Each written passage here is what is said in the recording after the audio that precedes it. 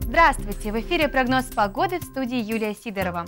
Спонсор прогноза погоды – компания по производству металлоштакетника в Нижнем Тагиле.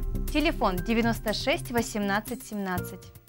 Красивый и долговечный забор из металлоштакетника – это возможно! Более 40 цветов, гарантия качества. Телефон 96 18 17.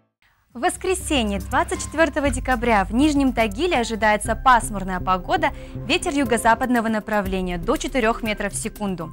Атмосферное давление 738 миллиметров ртутного столба. Температура воздуха днем минус 10, минус 12 градусов, ночью минус 14, минус 16.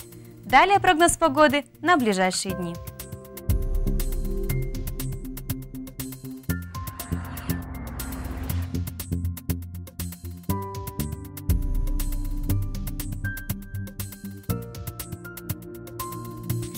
С вами была Юлия Сидорова. До встречи!